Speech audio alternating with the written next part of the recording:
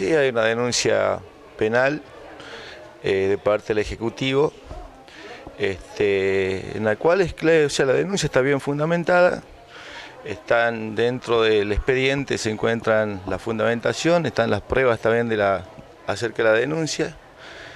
Y acá, eh, lamentablemente, nosotros tenemos que dictaminar, a ver este, en qué situación estaría el Consejo Deliberante.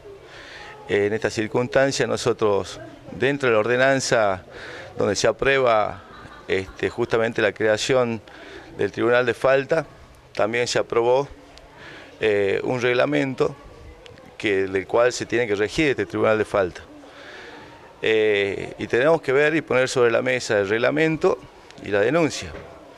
Desde ya te, podría decir que hay, se está violando como cuatro artículos más o menos del reglamento del Tribunal de Falta, o sea, también está violando lo que es la ordenanza de la creación del, del, juzgado de falta, perdón. Este, y bueno, en base a eso nosotros tenemos que, en la reunión de comisión, tendremos que dictaminar eh, cuál será el procedimiento administrativo que efectúe este Consejo Deliberante al respecto. Eh, ¿Están ustedes la facultad de darle continuidad o no a la gestión de la doctora Ramírez? Eh, la facultad que está en, nosotros, junto con el Ejecutivo, es justamente basarse en la ordenanza y en, este reglamento interno.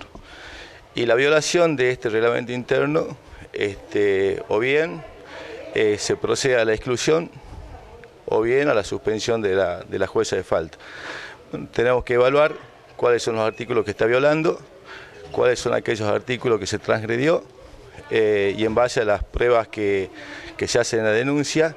Desde ya tiene un artículo cuarto dentro del reglamento que dice que el juzgado, el juez de falta, no puede tener ninguna denuncia penal, este, el cual este, sería separado de si así fuese, se separaría del cargo y, en base a un dictamen del juez eh, que efectúe sobre esa denuncia, eh, automáticamente quedaría excluido eh, del juzgado de falta.